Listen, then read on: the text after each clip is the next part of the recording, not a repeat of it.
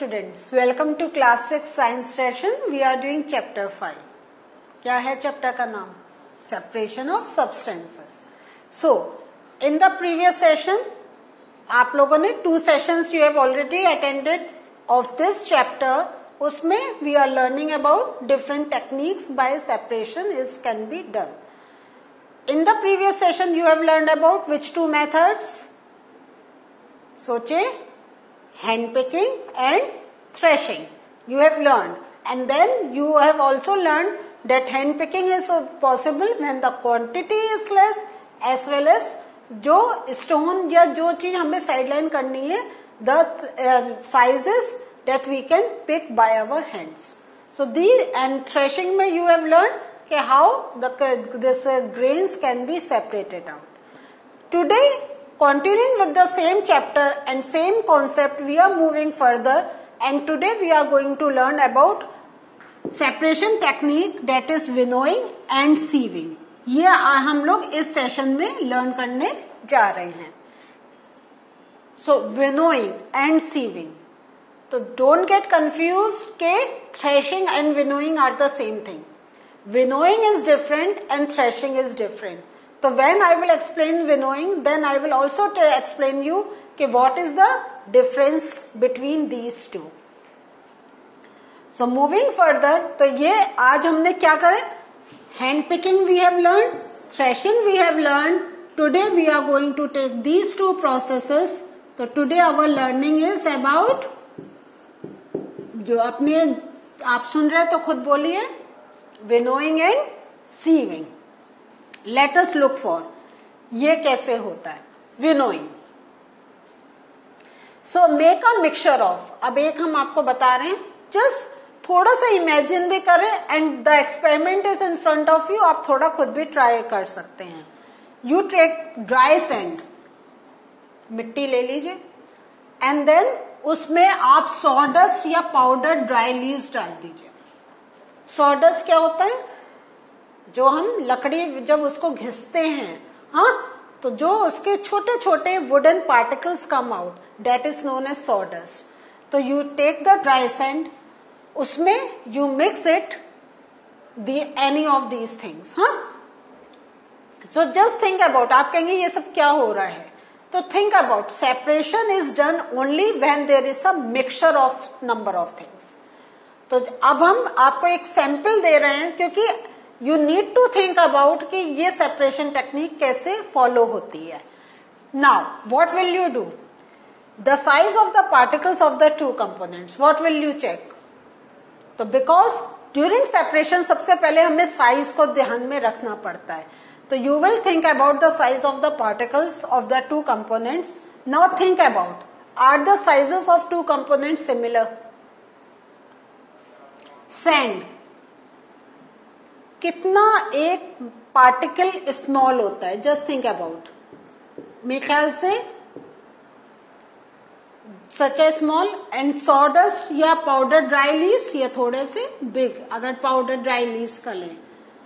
तो लेकिन powder dry leaves just think about that dry leaves ऐसी हो गई, लेकिन इसका अगर हमने पाउडर करा तो पाउडर ड्राई लीव्स आप जस्ट थिंक अबाउट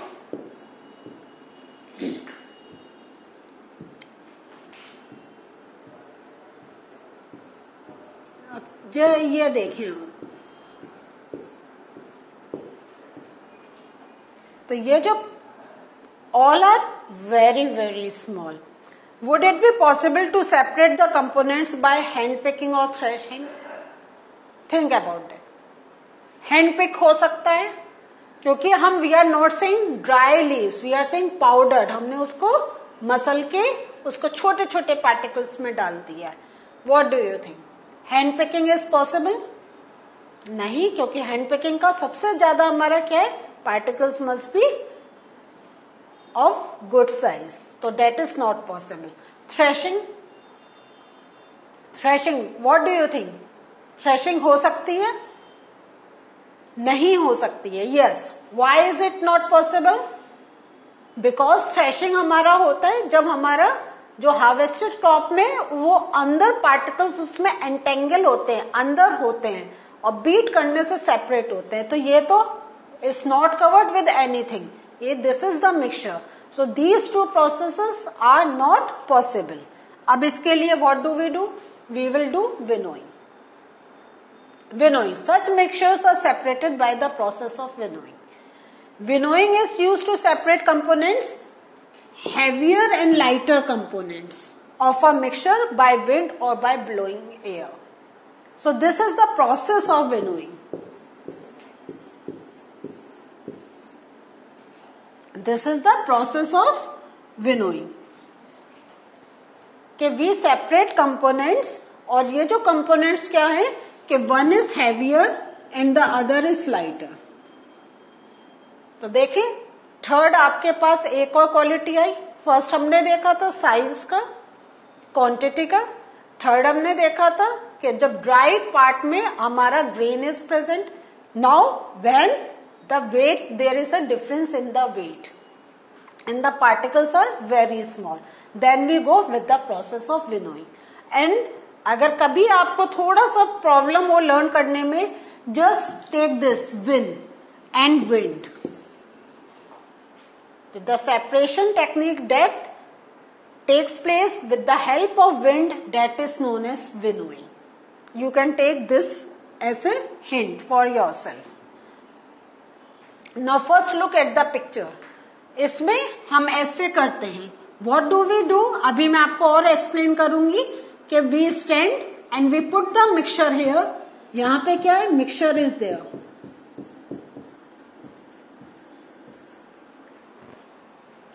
और उसको ऐसे टिल्ट करके खड़े हो जाते हैं। तो दिस इज़ वेरी इंपॉर्टेंट हल्का सा टिल्ट करते हैं। So when wind is blowing हवा चल रही है तो lighter particles will blow at one side the heavier particles will come on the other side. So take the mixture to an open ground and stand on a raised platform. देखिए raised platform.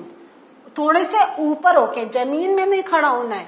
You have to stand at some height put the mixture in a plate और sheet of paper means you need to keep this in some, on some base.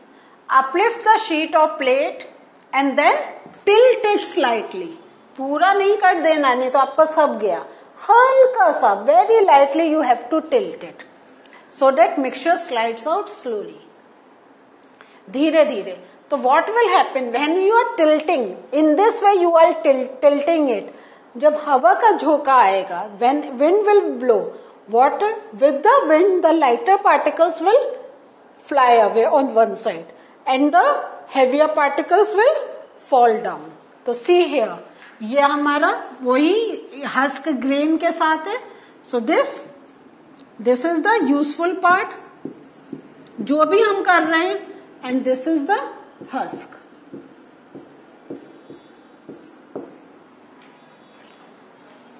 so so, वो हवा से क्योंकि husk is much lighter वो अलग जा रहा है and the useful part is getting collected down तो when winnowing is use by farmers तो because just remember we are talking about wind का है ना? कि विंड मस्ट बी ब्लोइंग तो winnowing is use by farmers to separate lighter husk particles from heavier seeds of grain and during when some wind blows कुछ का एक season आता है जिसमें हमें हवा बहुत मिलती है। तो उस टाइम में हम करते हैं। एंड ये कब होता है? कि when we separate lighter husk particles from the heavier seeds of grain so winnowing is use by farmers to separate these two particles some extra information about winnowing the husk particles are carried away by the wind ये तो मैंने आपको बता दिया the seeds of grain get separated and form a heap near the platform of winnowing. So, in the previous picture, do you remember? हमारा यहाँ पे seeds का सारा collection हो रहा था. Now, the other thing is, ये जो husk that is getting separated out, so that is not thrown away. It is used as fodder for cattle. So, this is the thing just get the understanding of that जब हम इसको tilt करके करें husk is moving on one side and the grain part is moving on the other side तो grain तो हमारा useful है. That is the thing लेकिन जो हस्क है ये नहीं है कि इट इज़ ब्लोइंग अवे वो कहीं भी जा रहा है. क्योंकि उसका जो विंड के प्रेशर से it is getting collected on the other side ये नहीं है, बहुत दूर कहीं जा रहा है इट इज़ और ये एक जगह ही कलेक्ट होता है। ये नहीं कि इट गेट डिस्टर्ब तो ग्रेन तो एक जगह कलेक्ट है but husk also gets collected in this way and that husk is not thrown away तो we cannot say husk is harmful for us हाँ वो नहीं है। Husk itself has some utility और उसकी यूटिलिटी क्या है? कि it is use as fodder fodder means food for cattles cattles उसको खा लेते हैं the other process that we are looking for is देखते ही पहचान गए this process is known as sieving sieving ये तो डेली ये देखें again this process light hand hand picking this process is also very common in household देखा है कि बिफोर मेकिंग चपाती जब आपकी मम्मी आटा लेती है, ये क्या है? दिस इज़ अ सीव उसमें we put flour and shake it why do we do this in this way कि इन केस अगर इसमें कोई बिग पार्टिकल है सपोज़ आपका वीट का ही है या कभी कभी हमारे छोटे से इंसेक्ट्स भी हो जाते हैं if we are keeping it for a longer time तो they will get hold on here in the sieve और यहाँ पे हमारा यूजफुल मटेरियल आ गया। ठीक है? मीन्स द फ्लावर अगेन और यहाँ पे जो रेस्ट ओवर जो बचेगा that is not usable for us we can don't want to use it तो अगेन द बिगर पार्टिकल्स या स्मॉल इंसेक्ट जो हैं they will get separated from the flour. Now, what are the uses of sieving?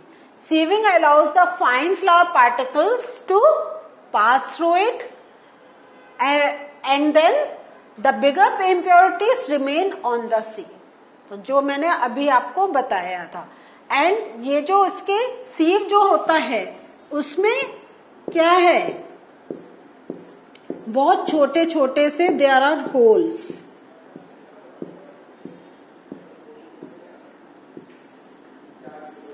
And ये जो holes होते हैं from that only very minute particle can go so see the technique तो हम देखने में हमारे लिए कितना एक इजी प्रोसेस था। But now look at the कि कितना जिसने भी बनाया, क्या सोच के बनाया कि the grinded part should go down और उससे और बड़ा particle should stay away in the sieve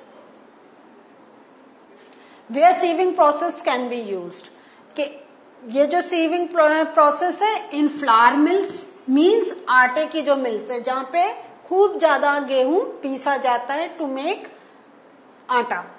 Impurities like husk and stones are remove from wheat before grinding it and then ये जो होता है why we use flour in flour mills this sieving to remove the impurities just remember this कि ऐसा नहीं है कि जब ही that is going there immediately उसका grinding start no they go with this process they remove the husk they remove the stones if present in them and then they grind it the other thing is you can so look at the construction sites construction sites में क्या होता है? आपको इस type से एक net मिलेगा।